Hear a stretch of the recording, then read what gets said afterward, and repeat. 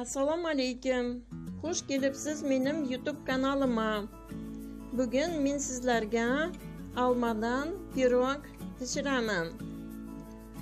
Qanaqa qilib qilganimni qanaqa qilib pishirganimni bu menim retsept bo'yicha barini ko'rsatib so'lab sizlarga ketaman. Agar yoqsa siz ham qilarsiz deb o'ylayman. Yong'oq kerak bo'ladi.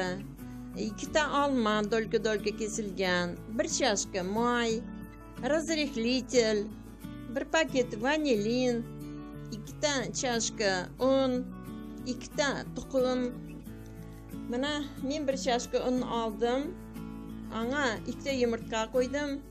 Hozir sutni qo'yamiz. Mana sutni qo'ydik. Bir chashka yuz gramm moy qo'ydim barin aralashtirdim razrыхлитель qo'ydim qo'ydim vanilin ikkinchi chashka unimni da qo'ydim. Hozir barini aralashtiramiz. Kamok kamok bo'lmasin xamirimiz quyuqda siyiqda bo'lmasin. Hozir mana idishimizni maylab e, xamirimizni qo'yamiz.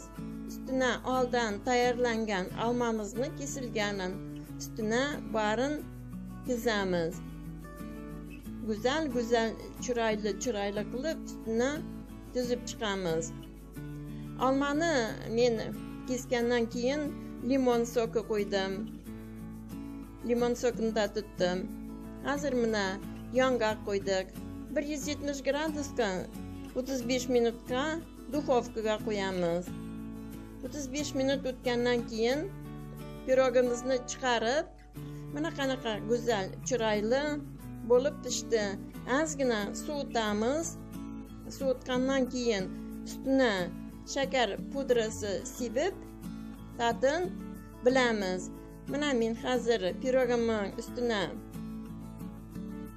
shakar uni sepaman bek go'zal bek chiroyli ko'rinadi.